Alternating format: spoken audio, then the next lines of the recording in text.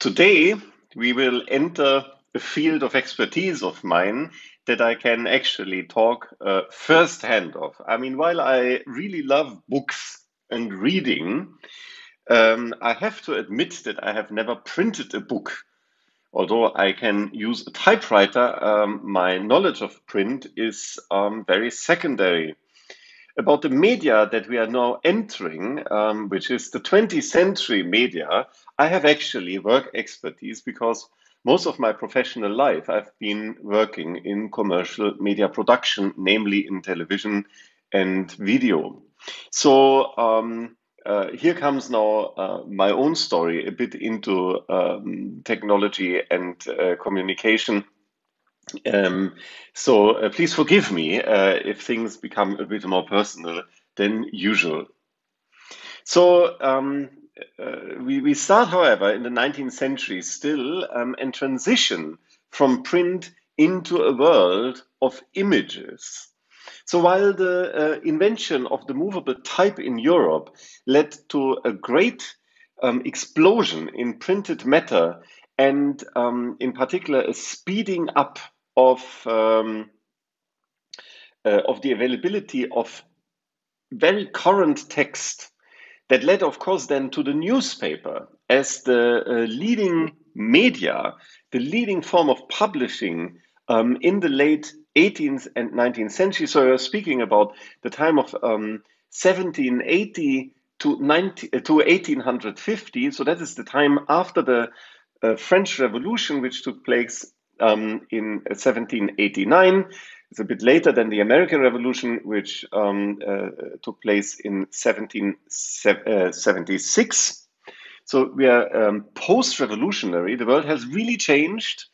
Um, in the US, in Europe, in Haiti, that was actually the first revolution that took place, that Haiti um, th um, threw off the uh, of colonial oppression so these three countries kicked off a whole series of revolution in the early 19th century. So the early 19th century, the time between 1800 and 1850, is really characterized by revolutions that take place. That means people going to the street and demanding the resignation of the ruling monarch. Um, every like 10 to 15 years, there was a major revolution going on somewhere, mostly in France. So the French kept kind of revolutionizing. And um, the medium that was most prominent at that time, of course, is the newspaper. The newspaper is the dominant medium of the 19th century. And the newspaper um, has a, um, a, a, very strong um, tie to language, which means it only addresses people who speak the same language. If you think of painting, I mean, you can look at the painting without knowing anything about the language the painter would have spoken. So, for example, in religious imagery, um, it is no, no much uh, of that importance if you have the Bible in a certain translation or not, or if you know um, about the scripture in Arabic uh, or in Persian, or any other language that people locally might talk, as long as you have an image that conveys the meaning um, it is working across cultures. With newspapers, with print, this is no longer true. Very few people were literate enough to be fluent in a language so that they could read books in other languages than their own. Maybe you would know one other languages or two, but uh, uh, you could certainly not have a global knowledge of languages um, and, and read print in any language. This is true to our date. So print is um, co-existing, um, uh, is kind of complementary with a movement that also took place at these times, which is the formation of national societies. That was not so much um, existing before. So the French Revolution is a turning point in Europe, as is the American Revolution in the Americas, of defining your own country as a nation, which has in its word natio, which means born. So it is people born in the same place. That is the idea of a nation. that was not so much important before. I mean, people certainly had a concept that people would come from different places. This is actually where the word comes from. Naciones is groups of students of different ethnic, uh, ethnic um, backgrounds in a university. So that is an Italian concept. In the early times of European universities, you would have these different nations of students, but it was not meant that they come from a place that's kind of surrounded by borders. This concept is truly um, a, a concept of the 19th century. So in the 19th century, we have the rise of the nation the concept of a national economy also. That means that you defend your own economic ent- interests against economic interests of other nations by, for example, introducing tolls and tariffs and by requiring all kinds of documents for people to cross your borders. So, all that happened, I mean, and was really a grateful vessel for this medium that would serve this purpose so well, which is the newspaper. So the newspaper is really the tool for the nationalists to foster their national endeavor. So the linguistic turn, the turn towards the written letter that takes place around 1800 is actually also the turn towards the nation. And of course, I mean, uh, thinking of the lecture on um, techno-determinism, uh, it is very um, um, um, tempting. It's very tempting to say it is print that caused the nation. However, this is not true, of course. It is a co-evolution. The formation of the nation has a lot to do with population density, with the invention of uh, a money economy, um, with specialization in the trades, and so on. Uh, and then, of course, with the concept of the levée en masse, that means the, the, the draft, that means defending your revolutionary goal um, against the aristocracy of the other countries that would try to overthrow your revolution. So, this idea of going to the weapons and rallying around the flag for your common goal of revolution in the United States and in France is, of course, a major driver for national um, for the national idea. And I mean, other people were not stupid. They would see that that worked out pretty well and would adopt it. Like when Napoleon um, um, would successfully um, subject most of Central Europe, um, namely Germany and Italy, um, under uh, his rule, um, people would use the national story um, to to organize resistance against what they would see as the French occupation.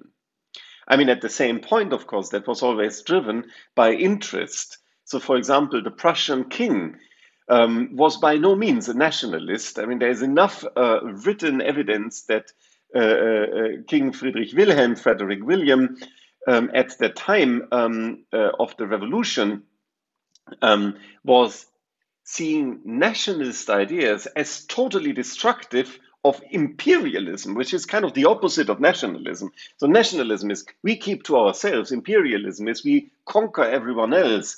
Um, so, uh, uh it's kind of a, a, a difficult uh, um, narrative if you say uh, we have a, a, nationalism and we close off our borders versus is we, um, we, we rob together a whole empire, like, for example, Austria Hungary, which is an empire that consisted of many different ethnicities, people of all kinds of different languages uh, German, Italian, um, uh, Serbo Croatian, Czech, Slovak. Hungarian, um, so languages that are not even closely related within one big country. We will look into that in um, a bit later too. So the idea of nationalism um, is there as a vehicle for all kinds of power, economic power, and uh, political power. And the newspaper is a major tool to achieve that. So the newspaper is kind of the tangible um, uh, uh, remnant, the fossil of the time of the nation. with the invention of photography in the 1830s, that gets shifted. And this is the first story that we will uh, um, uh, look at in today's lecture. So, photography um, has people uh, behind it that we can name. So there is inventors that probably were really the main drivers, although there is a long history of understanding the chemistry of uh, light sensitive chemicals. It was two French um, uh, inventors, um, uh, Louis Daguerre and Nicephore Niepce, uh, who uh, first understood how to keep the chemical reaction stable so that the image that you would create stays. So I am looking at the eyes that looked at the emperor. This is what Roland Barthes. Uh, Roland Barthes is, is one of the uh, major thinker in media theory and theory of photography and semiotics in the late 20th century. And this is how he describes this um, picture of uh, the youngest brother of Napoleon Bonaparte, Jerome Bonaparte. So this picture was taken around 1852. And um, I mean, indeed, I mean, you see the uh, family similarity if you know uh, pictures of uh, Napoleon Bonaparte, ever painted or drawn, you see his brother resembling him. So, and Barthes says, I mean, the fascinating thing about photography is that it looks back at you, that there is actually the, the, the real person that we see. It is not mediated through someone painting. That is at least what you could think that happened. There is an objective that makes the photography. Uh, photography.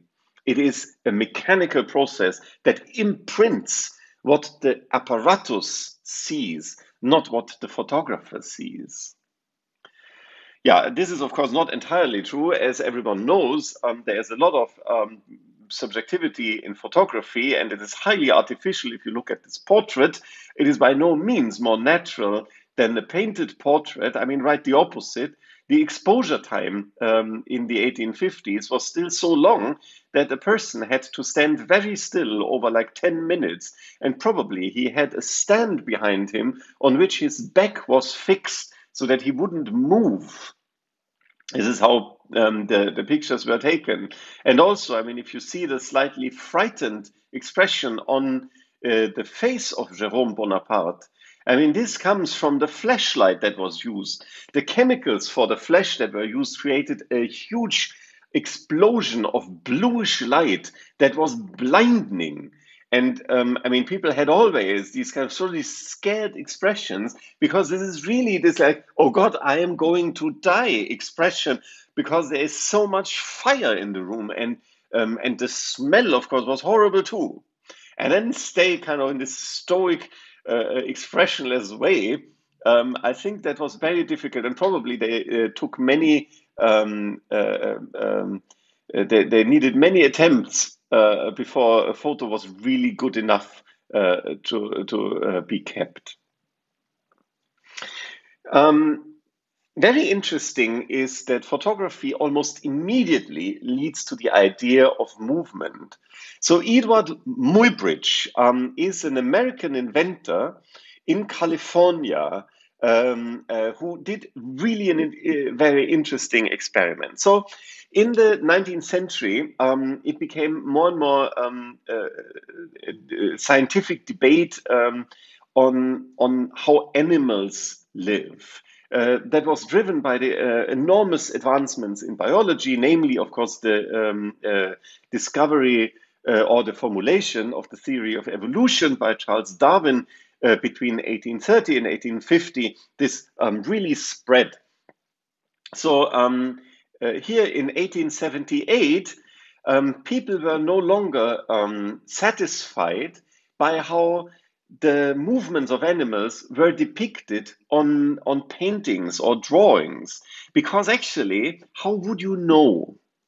And um, so there was always this debate um, if, for example, the horse would need to have its horse uh, feet, um, the hoofs, on the ground. So if the horse would at one point uh, um, uh, uh, in its run leave um, the ground entirely. And that could not be, you, you wouldn't see. People had the idea that uh, maybe. And Muybridge was commissioned um, uh, by uh, uh, uh Leland uh, Stanford, a very rich person. So, Stanford at that time was the governor of California. He's also the founder of Stanford University in Palo Alto.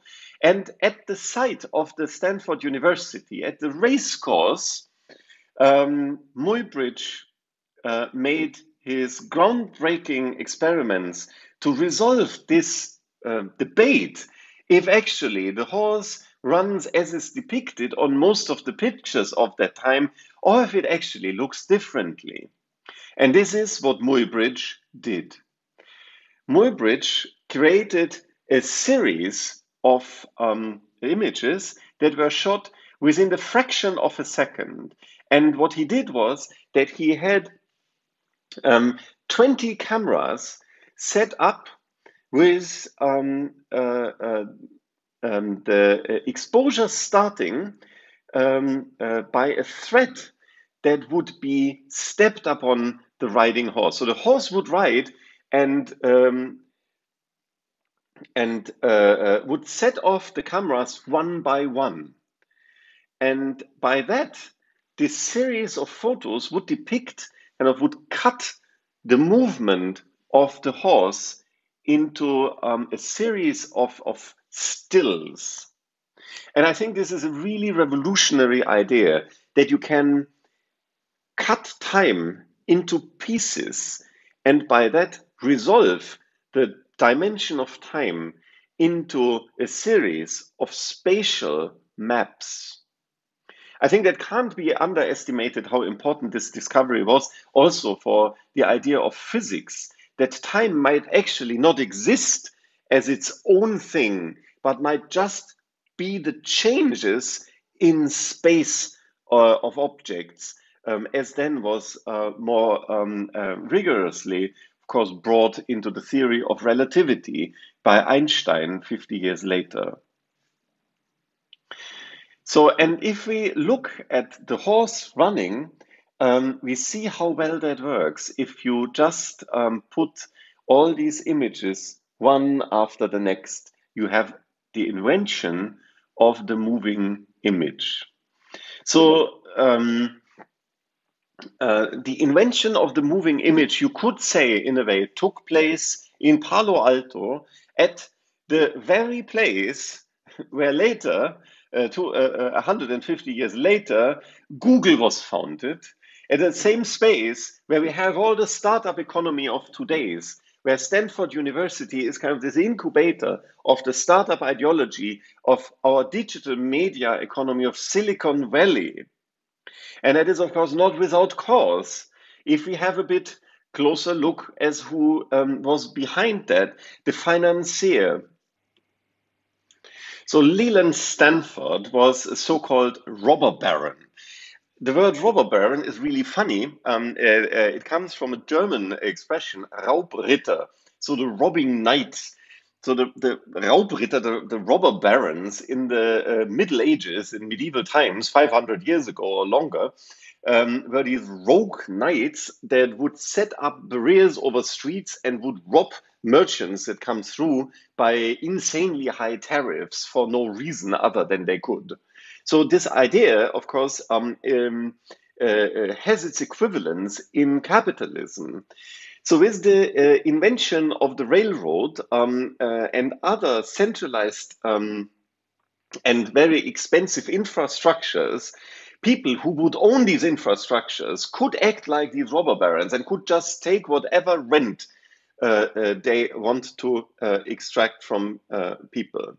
So, in this um, in this caricature, um, you see uh, the chair of the president of the United States being auctioned uh, to the uh, crowd of the robber barons. You see them all here, uh, all the J.P. Morgans and um, and and Rockefellers, and you name them. And one of them here uh, is Leland Stanford.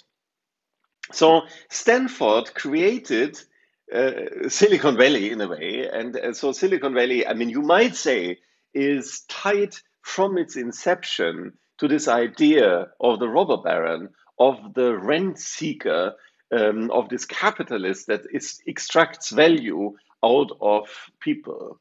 Um, keep that in mind when we transition from these uh, 20th century media uh, to the digital. So the invention of Muybridge and uh, that we now know that horses have their four feet above ground um, um, uh, when they ride, um, so that they actually jump in a way, um, uh, led to a, a lot of um, uh, inspiration for artists. So Frederick Remington is an interesting uh, artist. So he's exactly a contemporary of Muybridge's, and he was totally fascinated by photography. So he would send photographers around the country and would also go himself. And instead of making sketches, he would make photos of, of scenes that he would then change into pictures, into paintings. Although he would not tell that story himself, he would tell people that he would actually go um, uh, into places and paint there in the uh, uh, uh the scenery which was, of course, at that time not yet possible. I mean, the oil paint in the tube was not yet invented, so it was very difficult actually to paint outside your studio. So at that time, I mean, that is the time of early Impressionism, um, Remington um, was a correspondent also and went uh, to Texas and the Southwest to document the Apache Wars. So the settlers would fight against the Apaches uh, to take their land uh, to have more uh, grazing grounds for their cattle. This was, of course, a, a, genocidal and very brutal war that is told, however, um, to the people on the East Coast uh, totally differently, as you see here in Remington's picture, where the, the righteous cowboys with their firearms are running away with their horses, chased by the wild barbarian Indians coming after them. So um, this picture was Remington's breakthrough as an artist. People found it um, super impressive, the, the big cowboy picture, as they called it.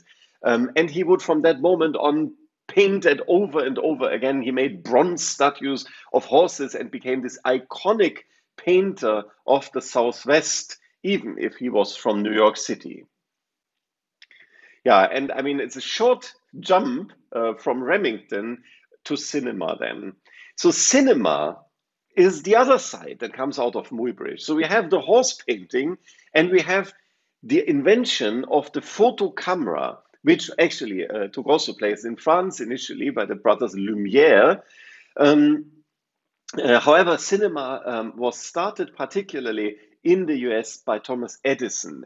Edison is not only the inventor uh, uh, of the first commercial successfully light bulb, he is not the inventor of the light bulb at all. The light bulb was invented much earlier, and over and over again, people tried to um, to make the light bulb better uh, uh, and and not burn through so quickly. So Edison can be credited by first doing um, uh, resolving the problem that the light bulb would immediately burn.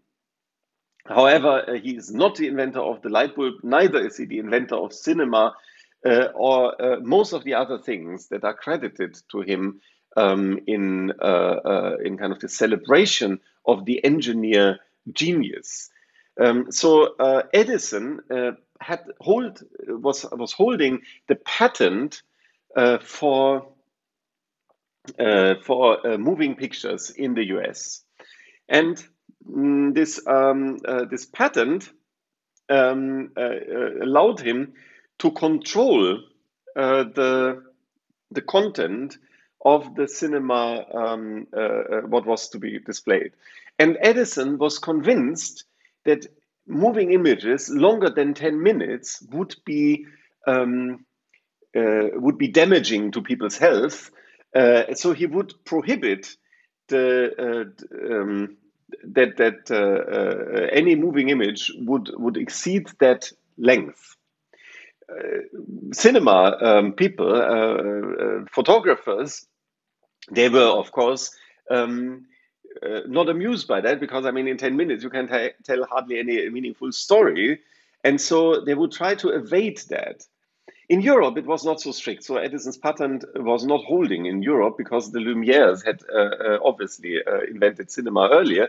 So in, in Europe, the development is slightly different. However, the, uh, the development uh, of cinema uh, in the America in, in the US America um, is, is much more powerful than in Europe because the market is so much bigger. There's so many more people. And a city like New York City, for example, um, I mean, if you have a cinema there, it's easy to get many people um, watching your movie. It's much, much more difficult if you have to go with the movie from one small town to the other. So there is a lot, um, kind of, um, a lot of movement um, in the uh, in the economic um, development of the cinema, and Edison was in the way of it.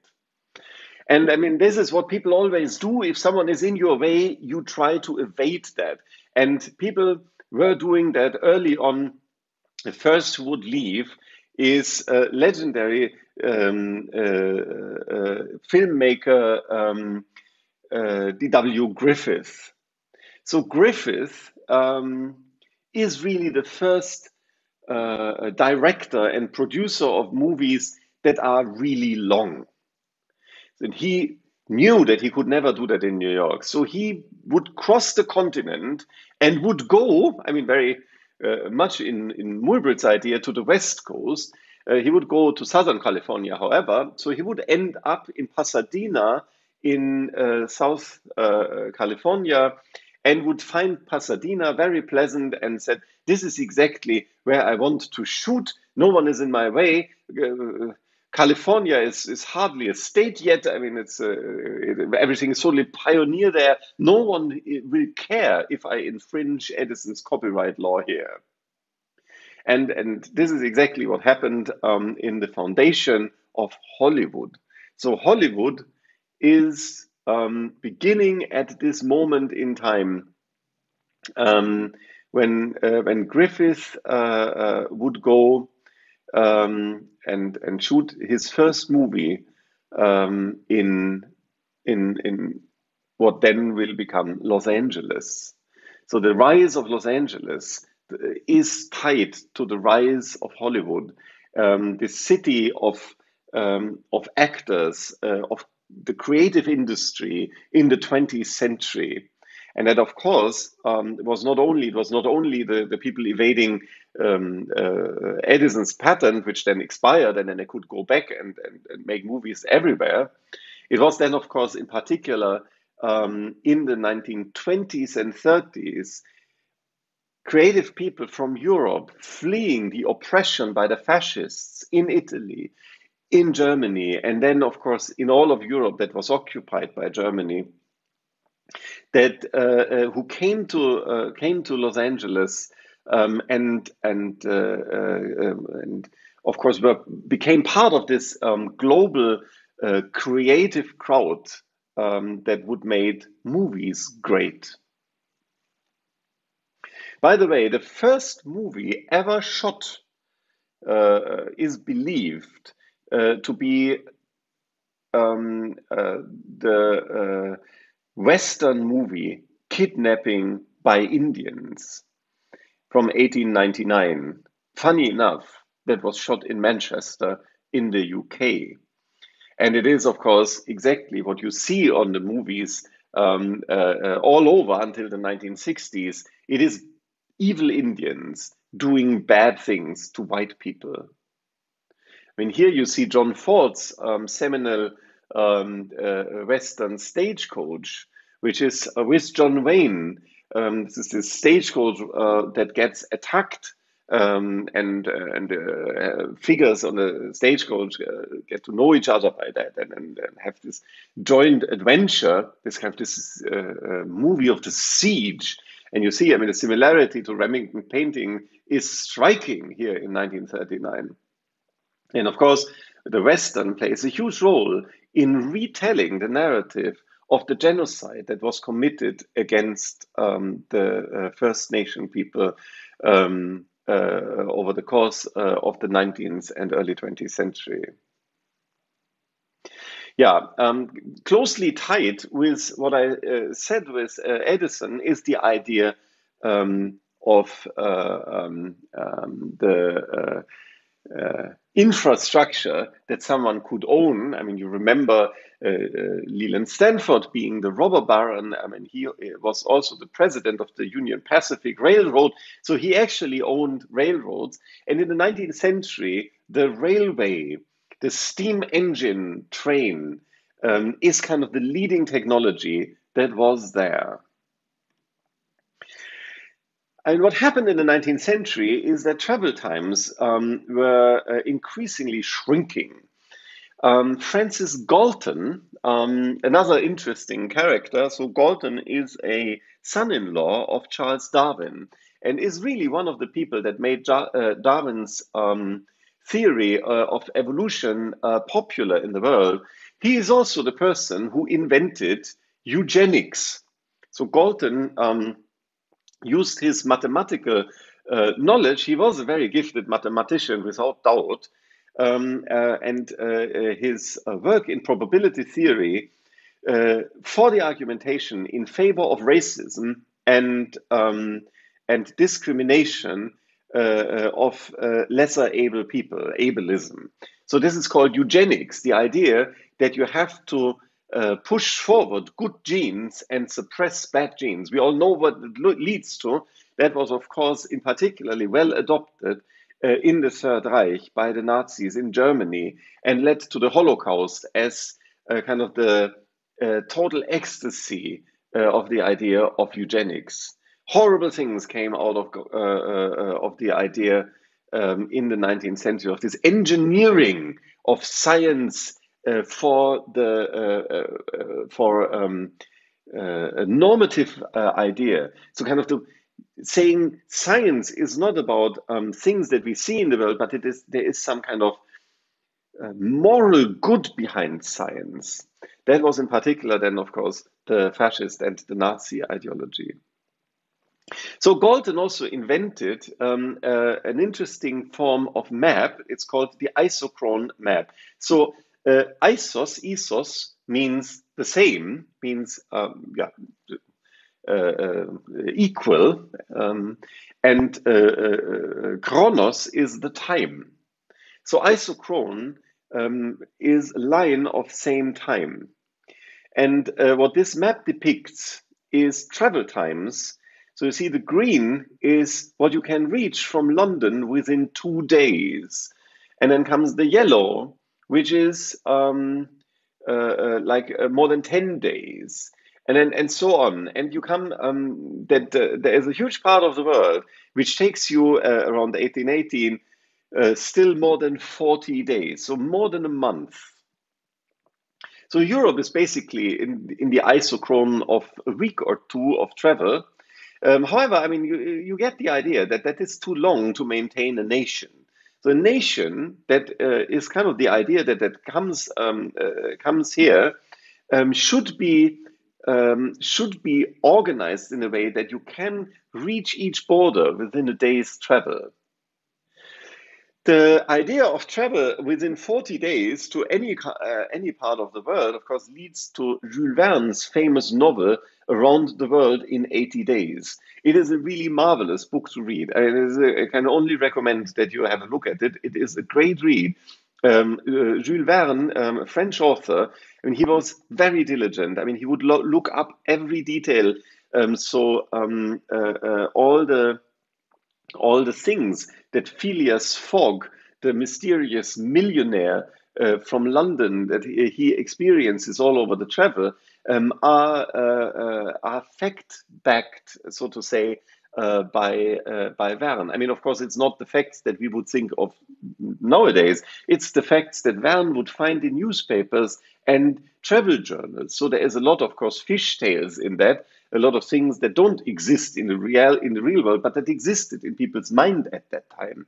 So uh, uh around the world in 80 days is a time capsule of colonial thinking and by that, it is absolutely worth reading. Um, and it, uh, it describes, um, uh, has been shot into, uh, into movies uh, many times. It describes this journey um, that uh, Fogg does traveling east um, across all the countries um, to Asia. Um, I mean, he, um, he he goes through the Middle East. He goes through India, um, uh, Burma. Today is Myanmar, China, and then crosses the Pacific, crosses the American continent from San Francisco to New York, and then takes a ship back uh, um, to Liverpool, and then the railroad back to London, and then thinks he has lost his bet and is now a poor man because he lost all his money in the bet that he would make it in 80 days. And it's the 81st day on his calendar, in his diary. And then realizes, however, that he miscalculated because he crossed the date line. Because he was traveling eastward, he would, he would gain a day. And that it is actually time, and he comes to his club and wins, and uh, of course, uh, uh, in triumph, and marries his uh, um, the love that he found in India, the princess that he met, and all uh, ends well. So this is the story of uh, Phileas Fogg, Jules Verne's novel in 80 Days Around the World. So this is an isochrone map, um, a bit later than Galton's um, of France. Here we don't have days, we have hours of travel in France. And you see already the development of very fast, very rapid transport um, um, that is the railroad lines. So the railroad was invented in 1828. It is a development that was intentionally triggered by investments. So um, the idea to put cars on rails is old.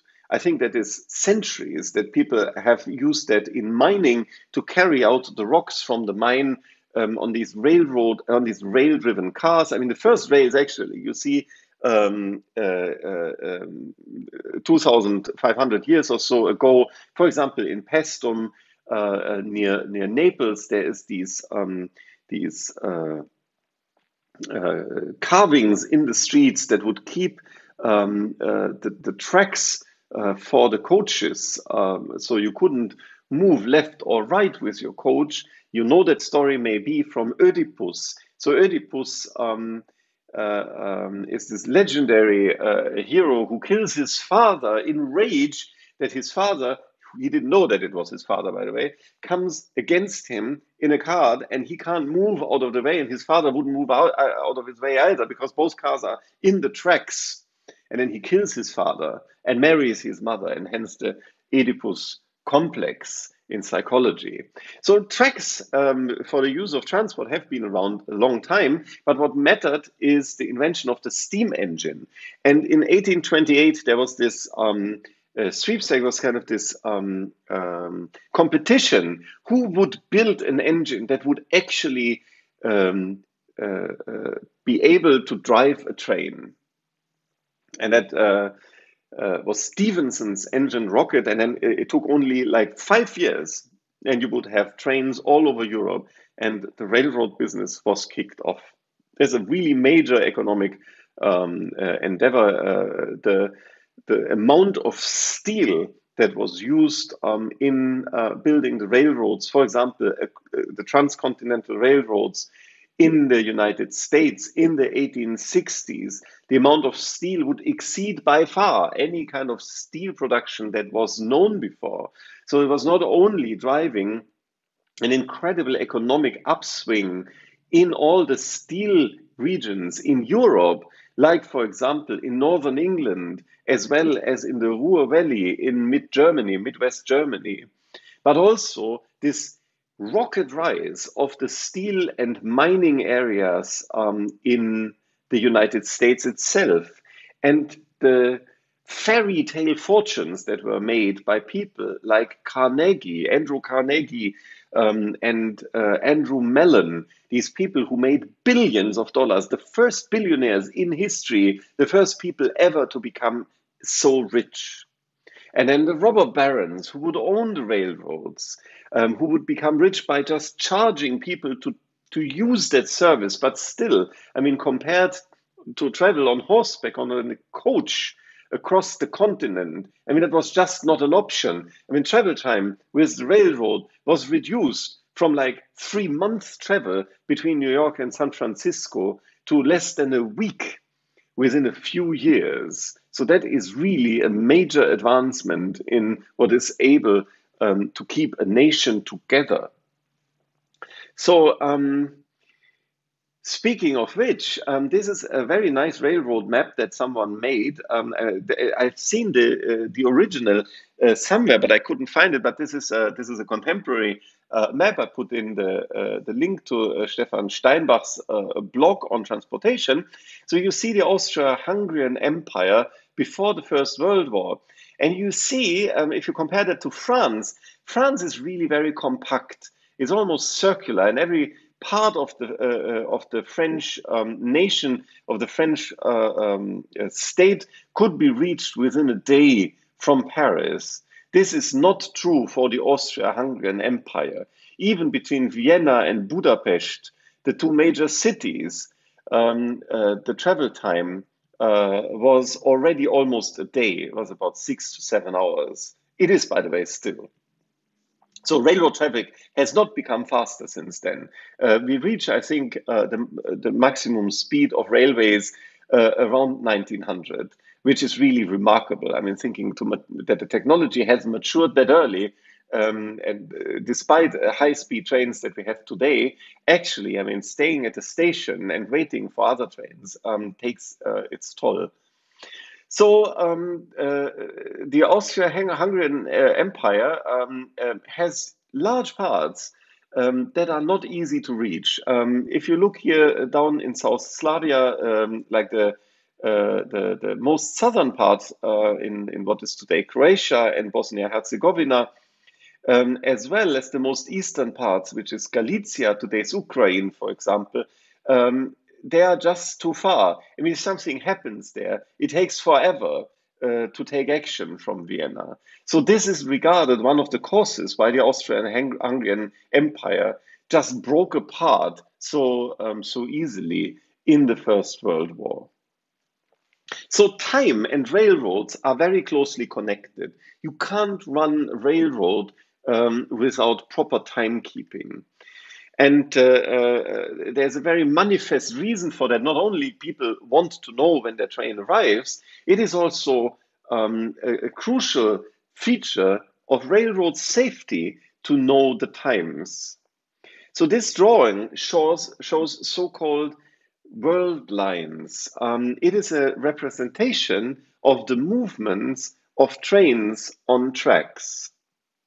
So um, it is uh, um, it is uh, Indonesia, and this map was made by a Japanese engineer. I will uh, tell a bit more in a second. So just so that you understand what it does. So on the left hand side, you see the elevation of the railroad track. So you see where there is a steep um, uh, um, um, uh, steep decline or uh, incline um, of the elevation. And you see the average speed that the train can therefore achieve in a certain track. The um, horizontal lines mark uh, the stations. So um, if you look uh, on top, you have uh, uh Surabaya um, in the on the island of, of Java. And we follow now a train that leaves Surabaya station at two o'clock in the morning. So you see the train runs and um, the distance is going to the uh, um, uh, uh, um, in the vertical while the time progresses um, uh, in the horizontal. At the same time, at two o'clock in the morning, um, another train leaves Jombang. And you see, if you follow the lines, that at one point they will meet. And you have to time the point where they meet uh, here in uh, Mojokerto, which I don't know, of Surabaya at least I've heard before. I've never been to Indonesia. So you have to time that out with the average speed that the train has in, uh, uh, in that um, uh, part of the rails, so that they meet at the point where there is multiple tracks for the trains to pass. And it's of course easiest in a station that had multiple platforms. And here on the right hand side, you see sketches on how many uh, platforms there are, and then you can time out your timetable. So the interesting thing is, I mean, so um, this is exactly how uh, how train schedules are uh, timed out to this day. Um, it's now done, of course, with computers. Um, but uh, um, I mean, when I was a young person uh, um, in the late 1980s and decided to study mathematics. Um, and I looked into the calculation of uh, uh, frame schedules. I was really fascinated by that. That was more or less ex- actually how uh, it was done in Germany at that time still. So you would have these sheets and would draw the lines and the slope of the line shows the uh, average speed of the train in that um, uh, section of the uh, rail track. This map, however, that I showed you here, this, um, this diagram, was not made by a railroad engineer from Indonesia. It was made by a Japanese spy. So before invading Indonesia in the Second World War, Japanese had, uh, so Japan, the Japanese Empire, had long figured out the um, infrastructure that was needed um, to make that invasion seamlessly happening. And one part was to understand the railroad um, uh, uh, logistics.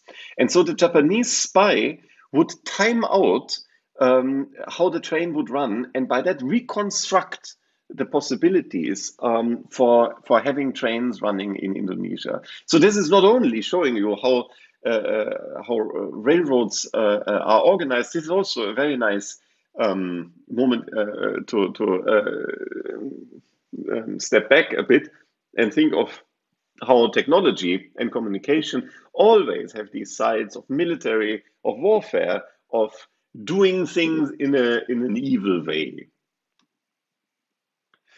So timing um, railroads is really crucial.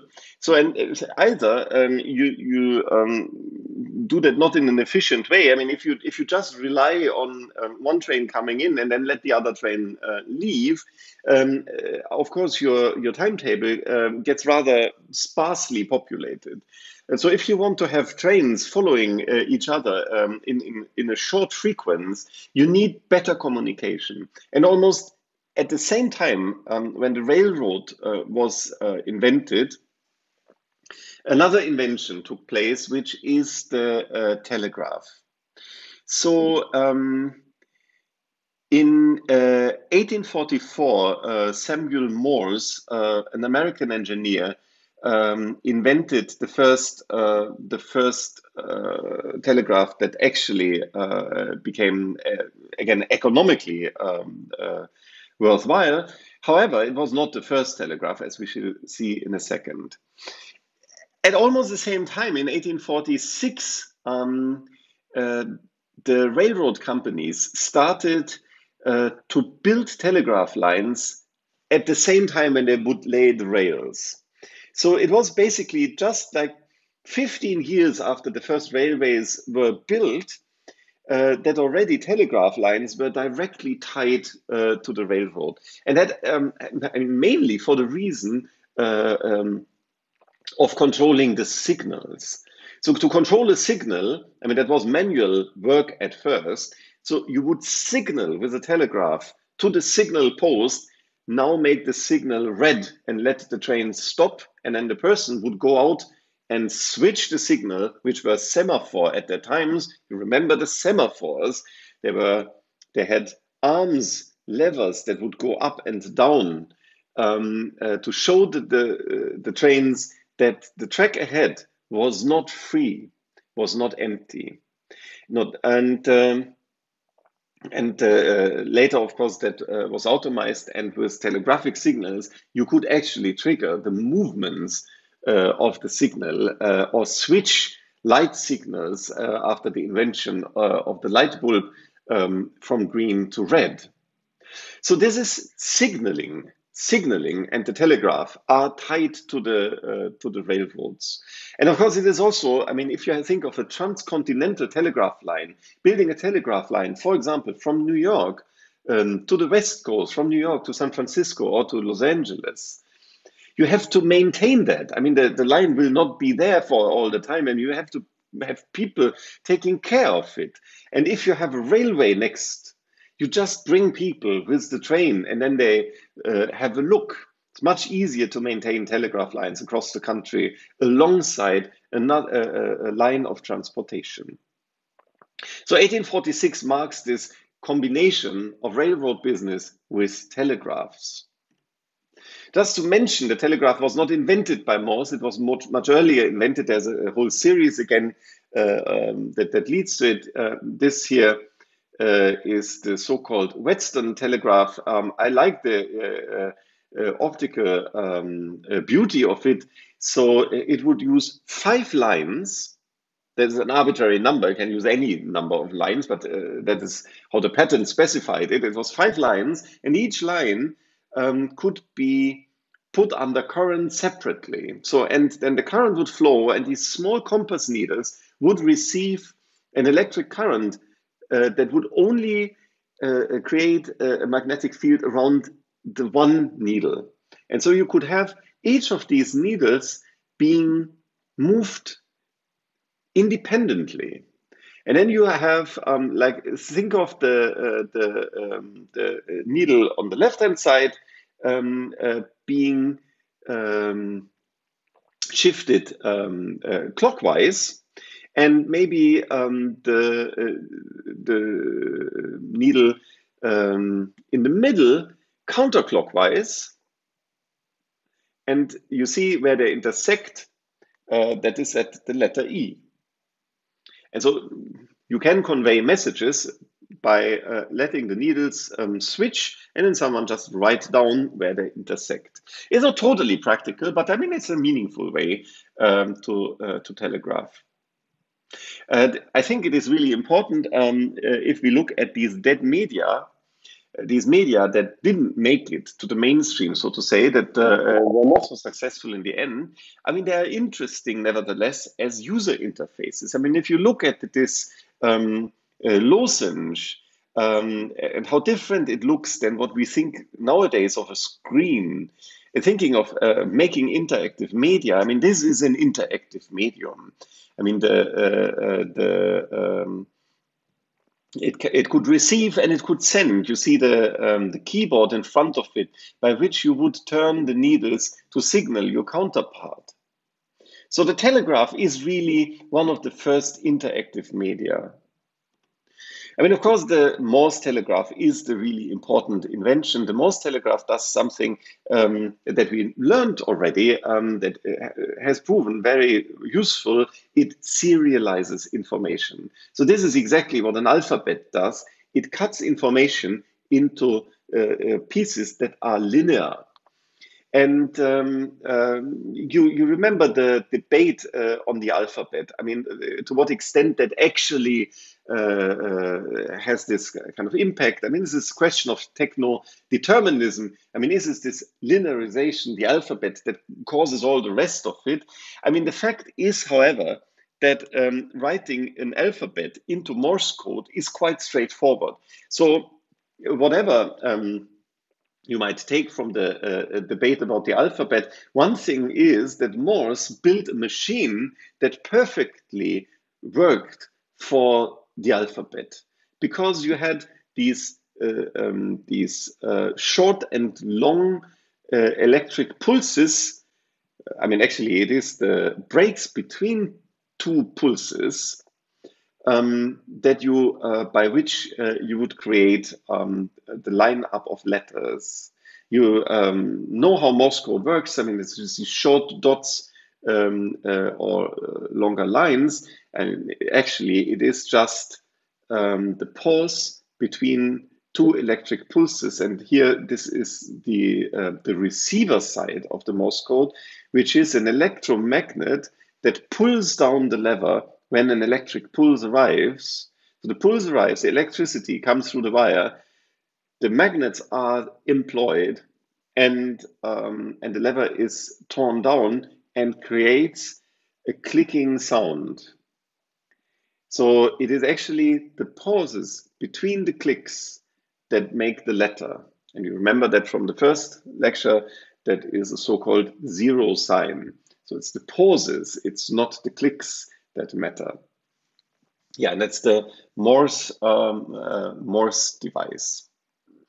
Well, with railroads and the Morse code and cinemas, um, with Edison's patents, we enter an interesting time um, in the um, uh, uh, in the 19th century, which is the time of monopolies. So communication and technology uh, is very much in the 19th and 20th century tied to defending or destroying monopolies. And what is a monopoly? A monopoly is when you own something and exclude competition.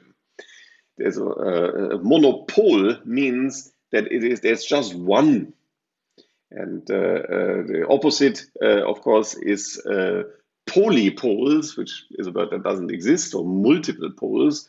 Um, there's a word that is very similar to monopolies, that is oligopolies. So uh, oligo means a few. So many monopolies are actually not monopolies, but uh, oligopolies. So there is only a few companies monopolizing everything. So you could think of digital technology today being an oligopoly between, for example, Apple, Google, Facebook, um, Amazon, uh, and so on, the so-called BAT-FANG, that is Baidu, uh, Alibaba, Tencent, uh, Facebook, Apple, Amazon, uh, Microsoft, Google. BAT-FANG. It's only um, put into that, uh, I think, sequence of letters uh, to make it sound somehow Chinese. I think there's no other reason. So that is monopolies and uh, or oligopolies. And uh, one of the most notorious uh, uh monopolies, of course, was the telephone uh, monopoly uh, that took place um, in a long time. So um, um, telephones, when I was younger, I mean, this is 1980s or 90s, looked like this. Um, they had electro um, engineered um, bodies with magnets in it and um, and uh, electromagnetic wiring. There's no electronics in these telephones; they are totally electromechanical. And um, and so it was an electrical engineering business. It is not yet digital at all. It is totally analog. Uh, uh, um, analog. And um, however, the telephone was not the first monopoly. The first, as we have seen, uh, is um, um, is uh, is the movie. The movie first by Edison and then by the Hollywood studios was really monopolized. There was really not much competition going on. So this is a picture of D.W. Griffith's um, uh, movie uh, Old California, which was the first movie that he shot 1910 in Hollywood. This is the first movie ever produced in what is today Hollywood. Of course, at that time it was not yet Hollywood because um, Hollywood was just um, a hill, basically. Uh, in so technology um, has a lot to do with monopolies, um, and that is. Uh, uh, so the argumentation goes as follows. Um, so there's the patent. Why would you get a patent for an invention? So the patent um, is the idea behind the patent um, uh, in the 18th century, when that uh, concept was first introduced in England, is that you keep inventors from making a secret of their invention. So the, the, the, the, state, the government had an interest in incentivizing inventors in making their invention public. However, if an inventor makes uh, uh, their invention public, and what what does he gain from them? What what, what or, or she? So what do inventors gain from public uh, publishing? Um, only that someone else makes the money out of their invention. And a patent resolves that. So you get a patent granted for your invention only if you publish your invention and everyone can see it and can use it. However, it entitles you to get paid for it. So this is the idea behind the patent. And actually, it is an interesting a kind of empowering idea. It's the same idea behind authorship and copyright that an author is incentivized to publishing their work, however, um, is protected from exploitation. So this is the idea behind the patent. But of course, in the 19th century, that kind of degraded and led to monopolizing inventions because big companies could finance research and could kind of amass patterns and prevent other people from uh, uh, making these inventions. There was most notoriously, of course, Edison as one of the first persons um, to to uh, make really that uh, into an industry. I mean, he would in his Menlo Park lab uh, in New Jersey, he would just mass produce patents um, uh, just to secure almost any business that he would think of. Uh, uh, very similar, but a bit different, um, is the approach that the telephone took. So the telephone was in the uh, 1870s um, invented, I mean, the first usable telephone at least, by an inventor called um, uh, Alexander Graham Bell. And um, Bell was not such a great business person, but I mean, he started his first telephone company, but it was his assistant, Thomas Watson. And Watson saw that, um, uh, that the uh, telephone would be of immense strategic um, uh, importance to any government, and he would actually convince the American government that the telephone would be so incredibly important that his company the Bell Telephone Company would be granted the exclusive monopoly for first long distance calls and then any kind of telephone calls in America. And by that, of course, AT&T, the American Telephone and Telegraph Company, became insanely rich the monopoly, of course, came at a price. I mean, the uh, government in the US, they were not that stupid or corrupt. They would demand, on the other hand, that the research that the Bell company would do would be basically public. And so um, the Bell company was obliged to run an extensive research laboratory, the Bell Labs, which is another um, um, enormous driver of science and inventions in Silicon Valley, in Palo Alto, uh, where these labs uh, had been. So um, the um, yeah the uh, monopoly of the AT&T of the American Telephone and Telegraph Company is really an amazing one because it is not state run. It is a private monopoly. In other parts of the world that played out differently. Like for example um, in many um, parts of Europe in Germany, for example, where the state owned post would have the telephone and telegraph, same in, uh, in most parts of Europe.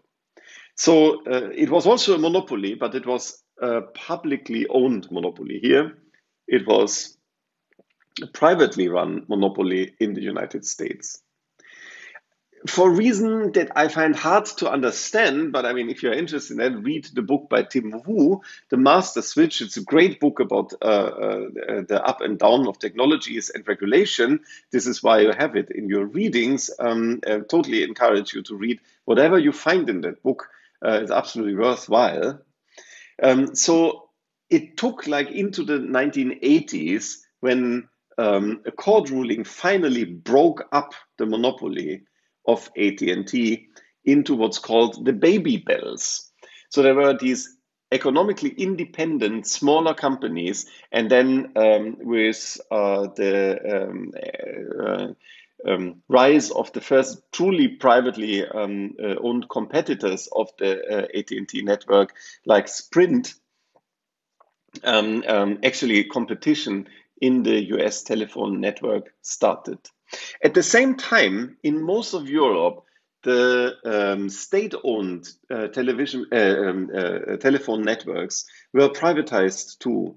So um, the telecoms, the tele or telcos, the te telecommunication companies, um, like in Germany, like in France, in Italy, in the UK, were privatized and broken up.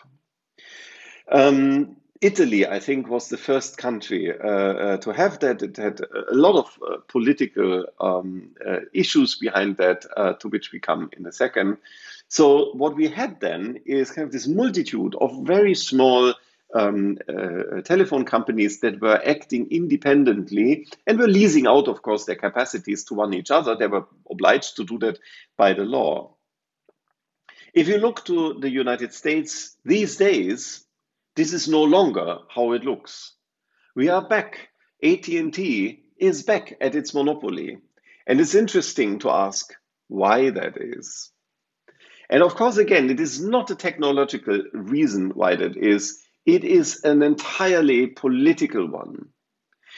In um, the aftermath of uh, the um, World Trade Center uh, attack in 2001, um, the Bush administration started what's um, uh, uh, called the war against terror. And one of that uh, uh, uh war against terror things is, um, is for example, the Patriot Act. And many of these, many of these political um, um, yeah, regulations targeted um, inf information infrastructure.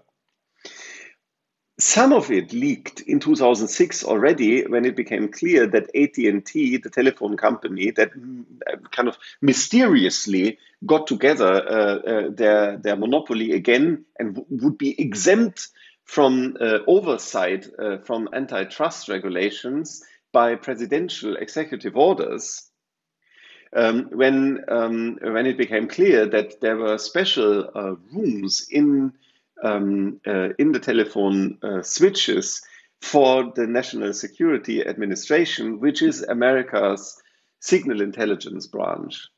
So, signal intelligence is the part of military and civil reconnaissance. So, that means gathering information that deals with passively getting this information. So there's two ways of intelligence um, gathering, of reconnaissance. One is spying, which means that you go somewhere with this, I mean, you have to send people, like you have um, a plane flying over a country and making photographs, or a satellite making photographs from high up, or people on the ground um, sniffling through documents um, in other people's offices and whatever. So this is opera- uh, this is operative. This is the active act of spying. And on the other hand, uh, you have signal intelligence, which is listening to what people communicate. Signal intelligence is really old.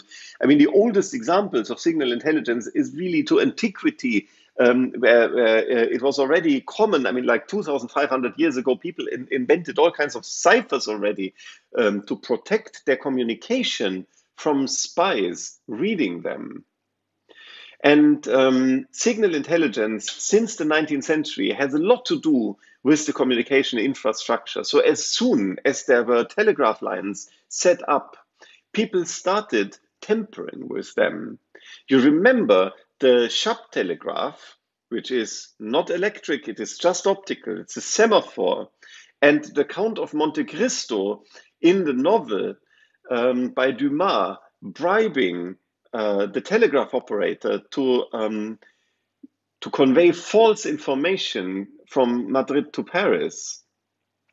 So that shows you that attacks on the uh, communication lines, on the uh, information infrastructure, are a strong driver um, in the uh, in the 19th century, and in the 20th century, of course, with the two wars um, uh, that made it so clear that information superiority is really war deciding, is victory deciding. Um, um signal intelligence became a major part uh, uh, of uh, military strategy. So the NSA, the National um, Security Administration, um, has hundreds of thousands of people working for them and um, doing the reconnaissance with the intercepted information. And breaking up AT&T was a nightmare for the spies. I mean, you can't spy on people easily if you not, don't know which network they will use. So it's much harder. And so it was much, much easier, of course, to bring that back together and only have one telephone company to deal with. And the nice, uh, uh, uh, the nice uh, names of these uh, of these um, uh, strategic operation um, initiatives in the NSA uh, uh, show you, I mean, kind of the, the mindset, I think, of the people, or look at the design of the slides. I mean, this is from the slide text that Edward Snowden smuggled out of the NSA. So Snowden leaked all these informations, and basically it's PowerPoint slides looking horrible. I mean, they're really the worst in terms of design. And then these names, Fairview, you have this typeface casting a shadow. I mean, it's really like a joke.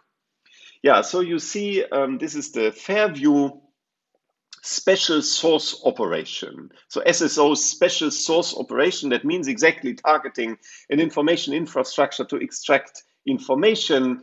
Uh, all these uh, um, uh, all these uh, abbreviations, of course, I mean it is top secret. That is uh, easy to understand. SI means um, special intelligence. Um, um yeah, uh, no foreign means no foreigners are allowed to look on that. So this is the reason why we have telephone monopolies uh, uh more and more. At least uh, uh, why that shifted immediately after the um, American phone company was broken up. In other countries, it played out differently in the first place. I mean, countries where the telephone infrastructure was set up much more planned, um, like here in the UAE, uh, of course, um, the uh, control of the government over the telecommunication industry is much stricter. Yeah, the monopolies. Um, so this is one idea of monopoly is this uh, monopolizing access to information for the reason of control and surveillance. Um, another one is more physical and has much more to do uh, actually with technology. It is the uh, limit of bandwidth. So we have now um, covered uh, um, photography, uh, the movies, telephone lines and railroads as technology that is kind of earthbound, so to say. It is technology um, that requires infrastructure in the form of cables or rail tracks um, that has to do with physical um, installations everywhere. And um, we now transition um, into the field of electronics finally, so um, the German physicist Hertz um, uh, discovered that um, if you um, light an electric spark uh, between two poles, two electrodes, uh, you can induce a spark in uh, between two electrons uh, that have the same distance at a distance. So you have this um, sending a spark across the room. So you light a spark here, and a spark lights here too. And by that, I mean understanding the potential of electromagnetic waves that had been um, uh, uh, first understood by Maxwell a bit earlier as a means of transporting information. However, these sparks is a tricky thing. So if you um, have this spark, um, uh, it creates um, uh, an electromagnetic wave that's pervasive. So you can only uh, only have a spark at the time, so to say. And to make that work, um, you need to limit the um, electromagnetic waves to what is called a bandwidth. So you can't just clutter the whole spectrum of frequencies or wavelengths with your sparks as Hertz would have done. You need to understand how to limit the spark to create only um, uh, uh, electromagnetic radiation as a certain wavelength.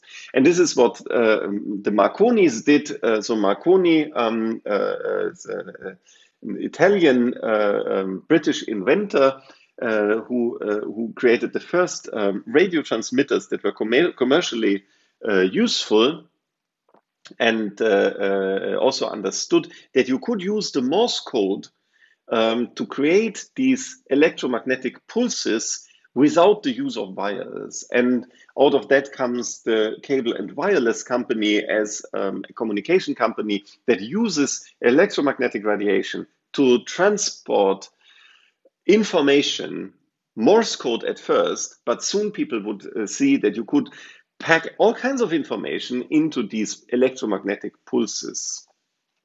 So the bandwidth thing is really important. Um, so if you have one radio station that sends its electromagnetic waves and you have a second uh, sending at the same wavelengths, and if they meet, it comes to interferences. So they they uh, so you get uh, a mess up, and you can't listen to these stations anymore or see their, their broadcasts or whatever.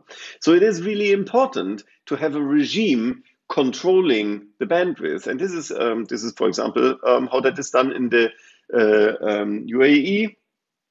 Let's just uh, give an example. So uh, from uh, 800 megahertz, that means 800 um, um, uh, oscillations per second, uh, 800 megahertz, 800 million to 3 gigahertz is 3 billion oscillations. This is the bandwidth of the ultra high frequency. This is the normal radio and um, television frequency nowadays. And you see how uh, exact the bandwidth is divided between different applications here.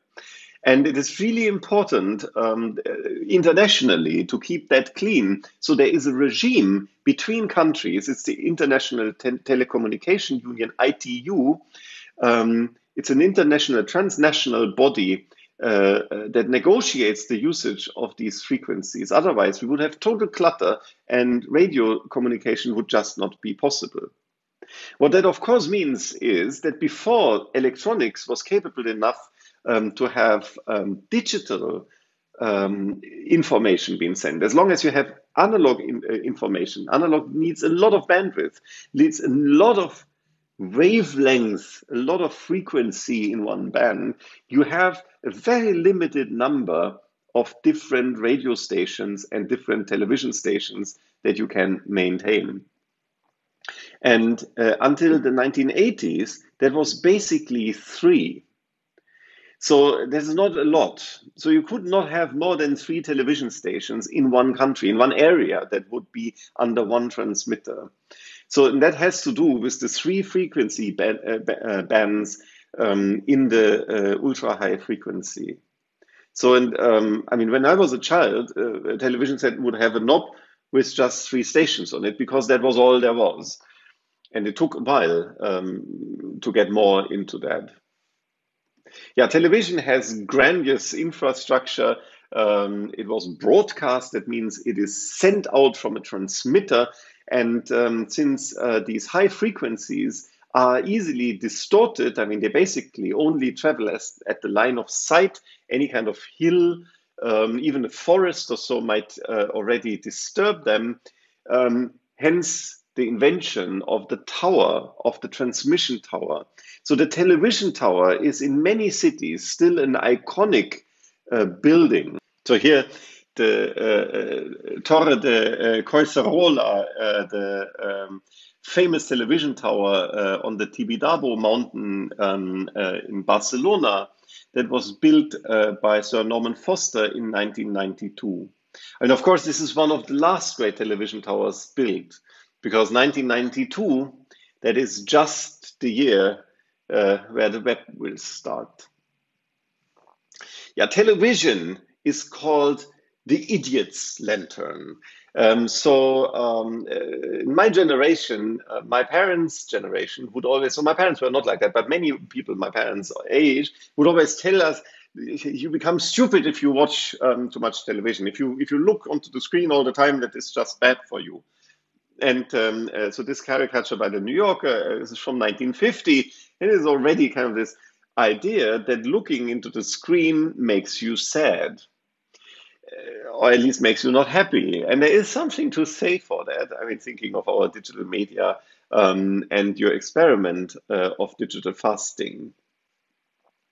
I mean, there is, of course, um, the aspect of advertising. Um, while all media channels uh, of the 19th and 20th century had been used for advertising. I mean, newspapers, magazines, uh, billboards, I mean, all uh, carry advertising. The radio, of course, carried advertising and propaganda, which is po political advertising, and were used for manipulation. With television, however, advertising became much, much more powerful. And this is a story that I can tell by heart because this is exactly where I worked. So advertising in television works totally different uh, than in print. So in print, in newspapers and magazines, it was always important that your ad would be meaningful. Otherwise, people would overlook it. So the attention was not enough. It was important that your message would stick. So there was a lot of creativity therefore put into print ads to make them stick with people's minds. That is the rise of the advertising agencies between 1900 and 1930. And with television, however, it became clear that it is almost irrelevant what is on your ad as long as people see the ad often enough. And I can tell you that it's true. So there, if you if your ad shows your company and you have your logo and then says the product name, that is sufficient already to, to make people remember it and to significantly increase your um, sales. And this is a very interesting fact. Um, I think it was not fully understood before the mid to end 90s that that was actually the case. But at that time, measurement of television audiences had become precise enough uh, to prove this. So you would show that if you have one region where your ad was aired, when it would be broadcast over the air, hence the name to be aired, and another region where it wasn't, and otherwise everything is the same, then you would see that your sales would rise at the region where your ad was shown versus the region where it wasn't. And you could calculate um, all the curves of saturation. So, how much money do I actually uh, have to put into my uh, advertising campaign to get the most out of it? And this led to the um, rise of media planning. Media planning is the uh, science or uh, the yeah uh, social science, so to say, of optimizing the impact of messages in media channels, in particular, of course, in television, and nowadays in electronic media.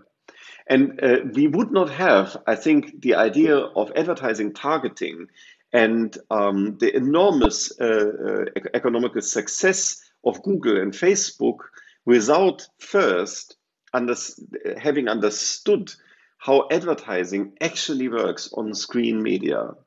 So this is really a fascinating um, uh, thing um, to look into that. I mean, if you want a, a deeper look into that, just watch the series Mad Men, um, it's very well done. I can tell you there is a lot of truth in that uh, about media industry, not only about the time when uh, it plays, like the 1960s and 70s, but there is actually a lot of things um, in the series Mad Men that tell you the story of media today.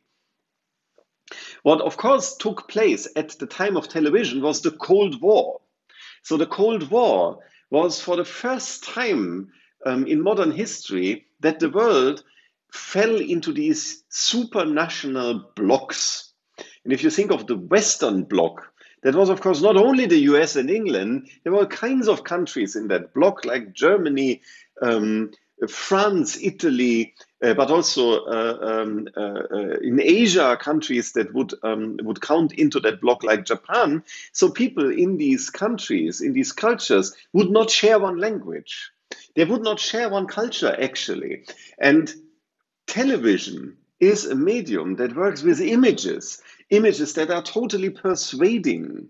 And these images work without language. So it is much easier to understand what's going on in a different place if you see them in a television image, in a video image, than in reading about that in a foreign language that had to first be translated before most people could understand it in the first place. So, television as a medium of indoctrination is directly tied with the time of the Cold War. And that is the so called iconic turn. You remember that there is the linguistic turn, which is the turn towards newspaper, that most information was suddenly written and printed. And the iconic turn in the 20th century is going away from that and falling back into an optical world. That is, however, not like the oral, pre literate world. Uh, it is a different kind of information that is conveyed through television. The most iconic of all television images, of course, is when the television didn't work. So um, the test pattern was invented uh, to understand what's wrong with your television set. And the television uh, test image, if you want to look that up, has all kinds of details on it that shows you if they don't look exactly like here, that uh, uh, which part of the TV is actually not working. So is it the phase that is shifted, um, and by that the colors would not match uh, exactly? Um, is it uh, horizontal or vertical resolution? Is it um, uh, the building of the lines? Whatever electromagnetic uh, impact in the tube in the cathode tube that uh, would uh, draw the image line by line on the screen um, uh, would cause a distortion you could see on the test pattern. So this test pattern would also show up when a television station would fail to broadcast. So that would come up um, as a default by the television uh, transmission towers. And in the 1980s and 90s, a lot of art was made. Like here, for example, General Idea, that is a Canadian uh, artist collective. Um, uh, they uh, made a lot of Fluxus inspired multiples. We'll look a bit more into um, electronic media art uh, later uh, in this uh, course. So here you see a test pattern on a plate. You can buy that um, uh, it's, uh, uh, it's a multiple. That means it's a work of art um, that exists in multiple ex um, multiple examples um, on sale much cheaper than if it would just be the, the unique piece of art.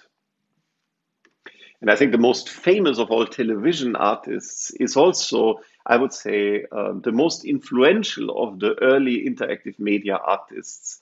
It is Nam June Paik.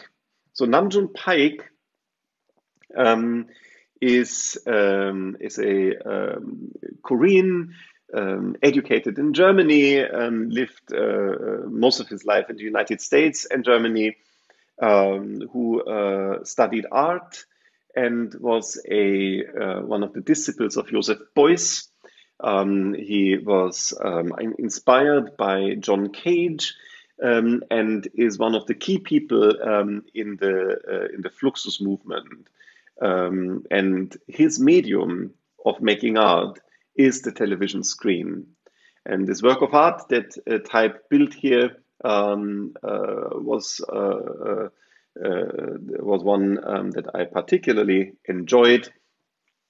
It was um, shown in the Venice Biennial in uh, 1933, uh, in 19, uh, sorry, 1993, um, 1993, so um, uh, 30 years ago um, in Venice, um, in the German pavilion, um, and it had this uh, totally iconic title, Electronic Superhighway Venice Ulan Bator. So Nam June Paik is the person who coined uh, the name electronic superhighway for dig digital technology, and by that became really the uh, iconic uh, artist uh, of interactive media, um, laying the ground um, for what we will follow up now in the next uh, lecture, digital media and the internet.